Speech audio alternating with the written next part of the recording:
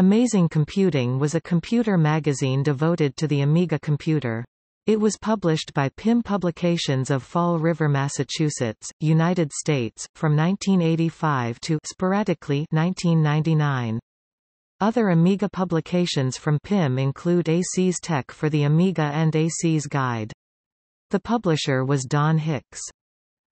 A frequent column in Amazing Computing was Rumors by The Bandito, which offered unsourced rumors, speculation, and inside information regarding developments on the Amiga scene. These often involved internal problems at Commodore Business Machines, the makers of the Amiga, and the alleged mismanagement of the company by its executives. The identity of the Bandito was never revealed although the publishers did hint that the writer had actually been several different people over the years. The column was discontinued after the demise of Commodore. Additional filler was provided by a complete listing of the Fred Fish discs.